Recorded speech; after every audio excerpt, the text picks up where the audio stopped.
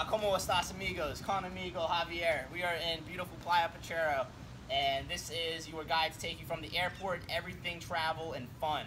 And uh, I just want to introduce my friend Javier here to the crowd. Say hello. Hello, everybody. And uh, we just want to know, when someone rents my dad's condo, why should you be their first contact? Well, first I have the keys of the place, so I can be Yeah. to that. I can pick them up at the airport and bring them up in my van, so I don't have to worry about driving or being concerned about driving on a foreign country, which is uh, can be very risky in Costa Rica. Yes, yes, of course. What are the hazards now of renting a car in Costa Rica? Well, Parker, you started uh, insurance. It's a big uh, procedure back there. Also, that uh, double line is just a suggestion. You know, like not in every country.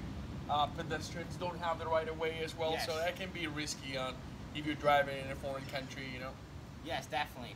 And uh, having someone native to the land to take you around that already knows all the hot spots, you know, where all the tourists go or where all the tourists don't go, you know, he knows all of these things that are very important for your fun in Costa Rica. And to close this off, uh, Javier, uh, explain why using your services is almost the same as using a car.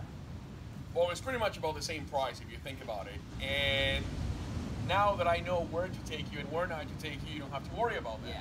So I guess that that would Yes, be a big, yes, uh, that a is big huge. reason on it. That's the big one.